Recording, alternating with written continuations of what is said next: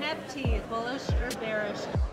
Bullish, distributed proof of ownership, has more use cases and pictures, and I think that it can transform the property market. Bullish, but I do not partake that much. I've only flipped two. My biggest regret in life will forever be I did not get a crypto dick butt. Uh, bearish. I think NFTs are too new in terms of understanding what they're actually, their full capability. So I'm going to go with bearish. Long-term bullish.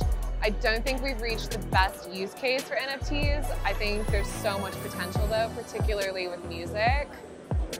Bullish. You know, I think it's a generational thing where some people that are kind of over the, the hill of understanding how that would maybe play out in the metaverse or in the gaming world uh, and being able to kind of have in the metaverse, you know, a piece of art that has a value in that space, I think will become huge within certain industries. NFTs, neutral to bullish.